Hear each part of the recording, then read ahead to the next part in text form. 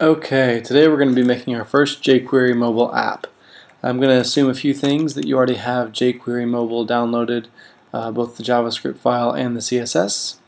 And let's get started. So we're going to declare our doc type as HTML, and we're going to do this uh, in HTML5 syntax. So um, just be prepared for that. Head, body. Just going to set up our page real quick. We'll give this a title, my first jQuery mobile app. And let's put some stuff in here. Okay, we're to add jQuery mobile later, so right now I'm just to set up our page. We're to do two sections. We're to call one page one.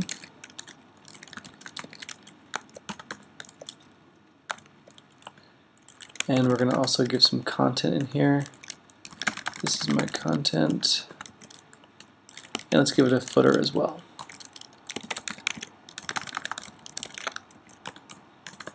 I'm using TextMate, which is pretty cool because you can, there's some pretty cool shortcuts for um, ending off tags.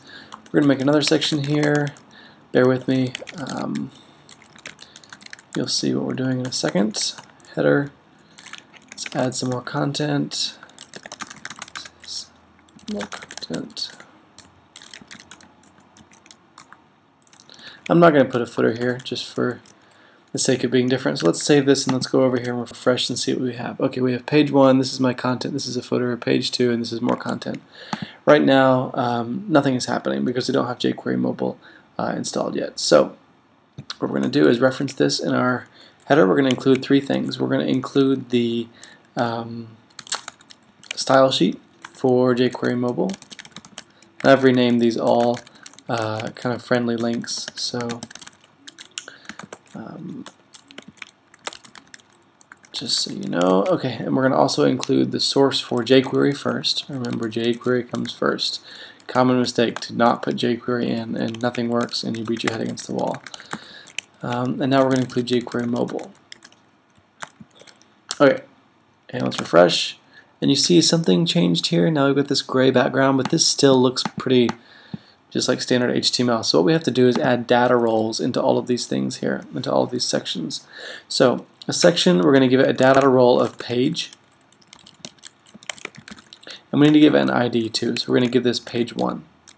Let's go into our second section, data role equals page, and we'll give this an ID of page 2. Let's refresh. Nothing's happening yet except you saw page 2 disappear. That's good. That means our jQuery mobile is working. Let's give our header a data role of header. Same with this header here. Data role of header. And we'll give this one a data role of footer. And the div right here, we're going to give a data role of content. And same thing down here in this div, data role of content. And real quick, uh, let's save that and then refresh. Ta-da! Okay, this looks pretty much like a like a mobile application. Um, but we're going to make sure we can link to the second page. So let's put a link in here. Uh, link to page 2. We'll uh, just do an anchor tag to page 2. Click here, save, refresh. When we click, it takes us to page 2. And you can see when we're in Safari, uh, it actually works uh, just like the iOS Safari browser where you get the sliding action here. So that's all you need to do. Um, there's obviously a ton of other options you can set, but this is your basic layout.